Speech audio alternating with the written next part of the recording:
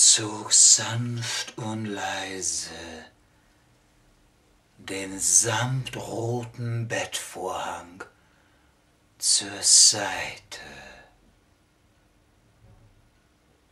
Und da lag sie, die schlafende Schöne, auf dem blumenreichen Himmelbett.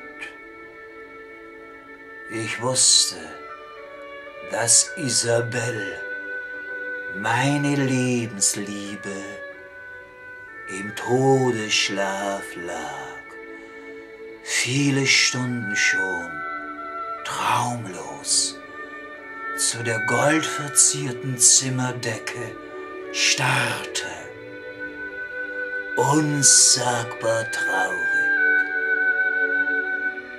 schloss ich ihre Augenlider.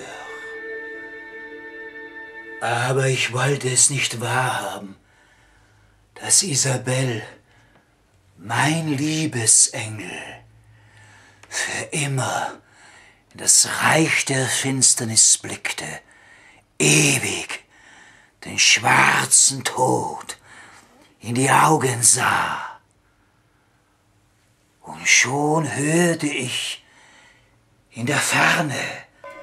Die Totenglocken der Dorfkirche läuten.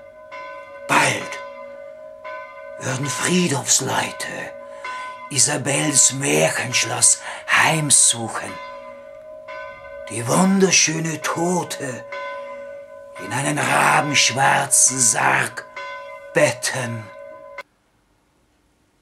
Und sie im Trauerschritt zur Familienruhestätte führen und dort schaufelvoll und erdreich begraben.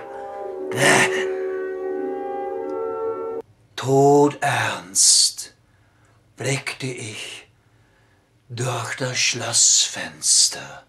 Der Nachtmond grenzte verführerisch und beleuchtete bleichgelb das blumengeschmückte Sterbebett meiner engelschönen Isabel. Ich zögerte keine Sekunde. Ich riss die Fensterflügel auf, umfasste den federleichten Mädchenleib mit meinen kraftvollen Armen und sprang mit meinem toten Liebesengel in die mondhelle Nacht. Endlich befanden wir uns in meiner uralten Vampirgruft. Und in dieser düstergrauen Welt schenkte ich Isabel das ewige Leben. Mein Liebesbiss verwandelte sie in einen unsterblichen Blut,